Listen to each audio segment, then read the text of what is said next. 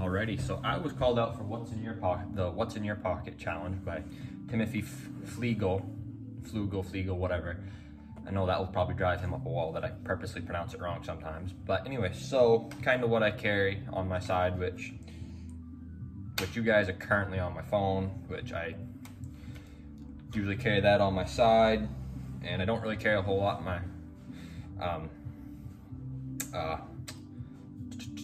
I don't really care a whole lot on me because, you know, it bothers my pocket, me to have stuff in my pocket, but obviously I always carry my wallet.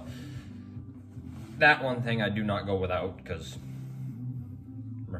Ryan has a tendency, but you know, just a simple, quick box cutter knife that I always carry, which I carry this mainly because with my work, we're constantly opening boxes and shit. So I need something there that I can just, you know, cheap and easy to work with. And then once in a while I might carry my Leatherman with me, but I don't carry it often just because it's in my pockets and I don't have the proper side clip uh, pouch, whatever you want to call it, for my uh, for my belt, because that also bothers the hell out of me. Because like this phone case, uh, carry clip, it gets caught on everything, and then when I'm not in my truck, I always have my truck keys on me, which nothing special about it. And then right now I've got chapstick on me, but that's all I really carry in my pocket. And then once in a while, depending on the circumstances, if I'm not super broke, I might have change or money in my pocket, but not, you know, today. But that's really about it. And and once in a while, I might have nuts, bolts, screws, or whatever in my pocket, like most everybody. But I don't carry a lot in my pockets just because there's not a lot for me to carry. But yeah, that's about it. And I know it's kind of a short video, and I know I'm supposed to call out somebody.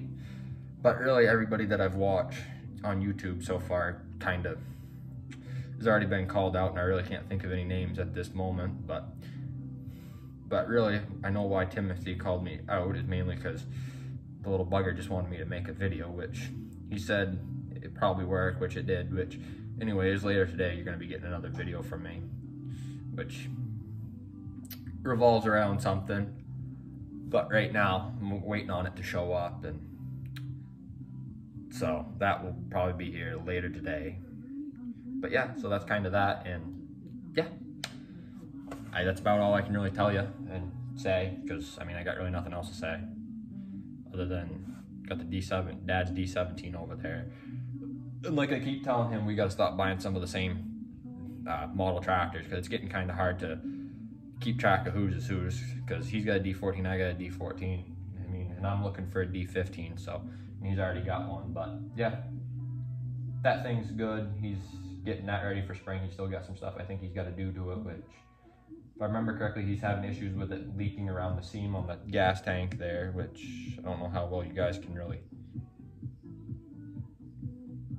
see, but the little seam that usually runs right along, kind of right where my finger is for the gas tank, that's leaking, and then up around where the gauge is on the tractor, it's leaking but yeah, that's kind of about all I really got to say on that. but nothing else new.